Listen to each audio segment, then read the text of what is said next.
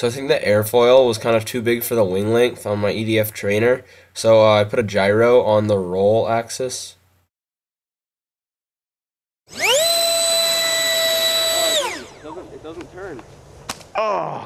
So I threw it, and uh, I had the, the the dual rates on, so the ailerons weren't moving enough, and it just would not turn.